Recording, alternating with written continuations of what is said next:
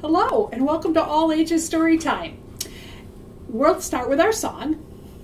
Hello, friends. Hello, friends.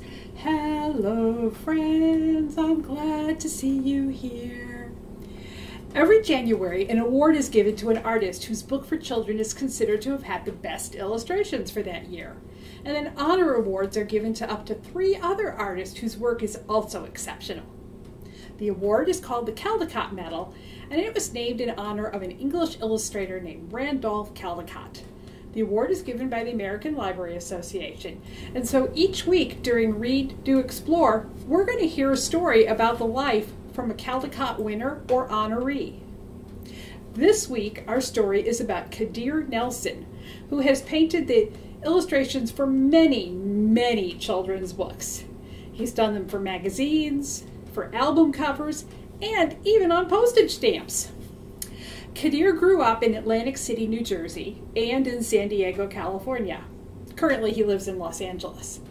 When he was in high school, Kadir thought he was a pretty good student until he met Ms. Visconti. She was his English teacher, and as Kadir tells the story, I'd become accustomed to receiving a B for most my most minimal efforts. But now I had been placed in a class where that would not do.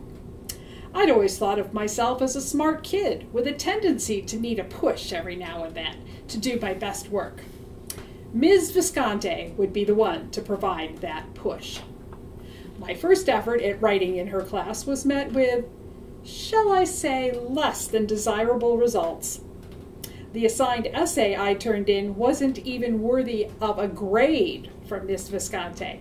At the top of my page, she had written in bold red ink, not an essay. Ouch! I was quite embarrassed. This was way too much for this young man to accept. So, I approached Ms. Visconti and I asked her to teach me how to write an essay, which she very kindly did, thus preparing me for successful careers in high school, college, and beyond. So that's what Kadir Nelson has to say about his English teacher, Ms. Visconti. Kadir became both a very good artist and a very good writer. He became very interested in painting big, full size, gallery size paintings of baseball players just because he was interested in the stories of the baseball players. His paintings happened to be printed in a magazine, and that is where our story about Kadir begins. While he was still in college, Kadir started painting pictures of baseball players from the Negro Leagues. He had seen a television program about them and found it an interesting story. Some of his pictures made it into Sports Illustrated, a pretty famous magazine. And four years later, he was asked to come to Kansas City to visit the Negro Leagues Baseball Museum along with several other artists. The museum hoped that they would be willing to create art for a traveling museum exhibit. And Kadir was one of the artists. He was a known artist, but not really famous yet. So he had painted some pictures of black baseball players just because he liked the idea of doing it. But Kadir got really hooked on the stories he learned about those players when he was visiting the museum. Stories about baseball players who were really, really good, but who a hundred years ago, in the 1920s, weren't allowed to play on teams with white players. So they started their own teams in cities all across America. They played in their own big league stadiums to thousands of fans. Kadir painted a picture called Willie Foster and Young Fans. Willie Foster is a baseball player who's heading to the stadium. He's wearing his suit and he's carrying his suitcase. And four young boys walk behind him carrying one his baseball glove, the second boy his uniform, and another boy his shoes, and another boy his bat. He is their hero. They're also sort of hoping that maybe he'll let them into the game as his guest. People loved the painting, and they loved the story it told. So Kadir started talking to baseball players who had played in the Negro Leagues. He loved to tell their stories. They were sports superstars. They played a game that they loved, and Kadir got caught up in their stories. The more stories he heard, the more stories he wanted to paint, and so he kept painting. He painted Turkey Stearnes, who played for the Detroit Stars. He painted Cool Papa Bell, who played for the Homestead Grays in Pittsburgh. He painted Bullet Rogan, who played for the Kansas City Monarchs, and Oscar Charleston, who played for the Chicago Giants. Kadir painted players singing on the bus while they traveled to another city for a game. He painted a game played under night, under lights that still left the field in shadows.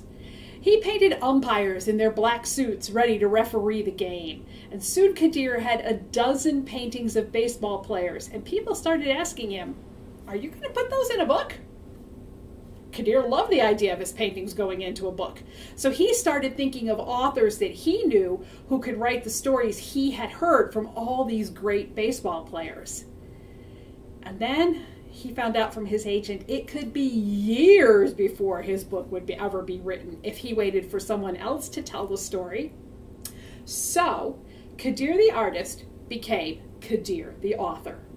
He took all the things he had learned from Ms. Visconti back in high school and he used them to write the chapters of a book about baseball called We Are the Ship. And it turns out Kadir is not only a really great artist, he's also a really good writer. His book won major awards, and so he kept writing and kept painting. His friend Kwame Alexander says that Kadir doesn't speak a lot with words, but he speaks a lot with his paintbrushes. Kadir just can't stop talking on canvas. Each stroke is like a thousand words. Kadir still lives in Los Angeles, and he still speaks thousands of words with each new painting. And that is our story of Kadir Nelson. Let's end with our closing song. Goodbye, friends. Goodbye, friends. Goodbye, friends. It's time to say goodbye. See you next week for story time.